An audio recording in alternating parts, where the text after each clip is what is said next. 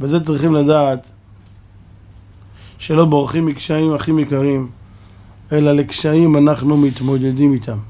כשיש קשיים בחיים צריך לדעת שנותנים לך רגעי התמודדות לראות איך אתה תתמודד וההתמודדויות האלה למעשה בונות, האיש... למעשה בונות את האישיות שלנו כל אחד ואחד בפני עצמו אדם לפעמים מהתמודדויות, מקשיים, מתייאש והוא לא מבין שהקשיים הם אלה שבונים את חייו, בונים את האישיות שלו, מעצבים לו את החיים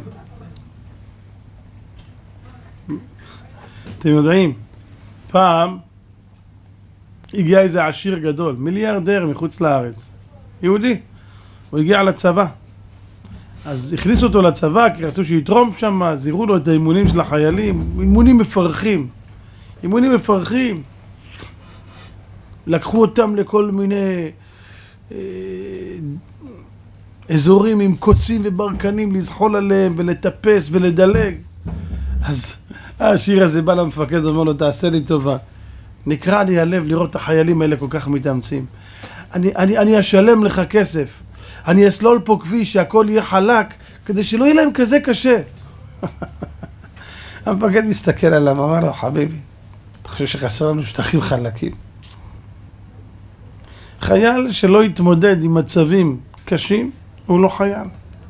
כי מה שבונה את מעצב את דמותו של החייל ואת העוצמה שלו, זה דווקא שהוא יכול להתמודד עם קשיים. מחר מחרתיים במלחמה יש כל מיני פינות, כל מיני מערבים, כל מיני אזורים של מלחמה כאלה ואחרים, שהוא צריך לדעת להתמודד עם כל דבר.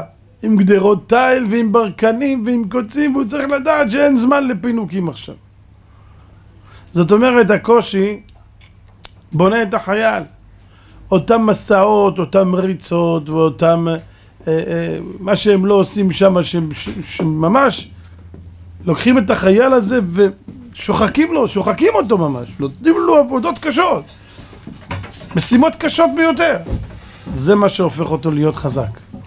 זה מה שהופך אותו להיות חייל, זה מה שהופך אותו להיות מפקד, זה מה שהופך אותו ברבות הימים להיות קצין, וזה מה שהופך אותו ברבות הימים גם לקבל צל"שים על כל מיני דברים שהוא עשה, לא בגלל שריחמו עליו.